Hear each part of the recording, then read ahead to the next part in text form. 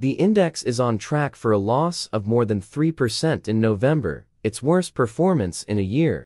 Markets have been wanting to get ahead of the next big theme monetary easing, better conditions for risk assets, and a weaker dollar. But as we've seen this morning, that's starting to run out of steam, said Simon Harvey, head of FX analysis at Monex Europe.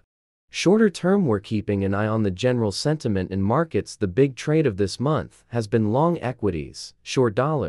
And then these psychological levels the euro has bumping against $1.096, and each of its runs at that in the past week has been thwarted. The euro and sterling were broadly steady, with the common currency at 1.095 for dollar and the pound at 12628 both around their highest in about three months. Market expectation that the Fed's rate increase cycle has finally come to an end has also put downward pressure on the greenback. U.S. rate futures showed about a 25% chance that the Fed could begin cutting rates as early as March, and increasing to around 50% by May, according to the CME FedWatch tool. Traders are now eyeing U.S. Core Personal Consumption Expenditures PCE Price Index, the Fed's preferred measure of inflation. This week, for more confirmation that inflation in the world's largest economy is slowing. PCE tops off a slew of other key economic events this week, including flash inflation data from major Eurozone economies. With bloc-wide data due Thursday, Chinese Purchasing Managers Index PMI data, and an OPEC plus decision.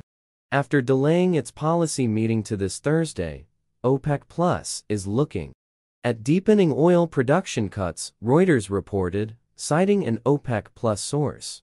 The Japanese yen was a touch firmer at 148.45 per dollar, continuing its recovery from the brink of 152 per dollar earlier in the month as the dollar weakened.